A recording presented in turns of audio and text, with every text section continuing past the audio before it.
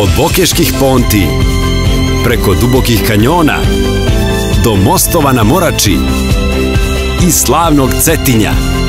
Bezbroje ljepota Crne Gore, a jedno je Nikšićko.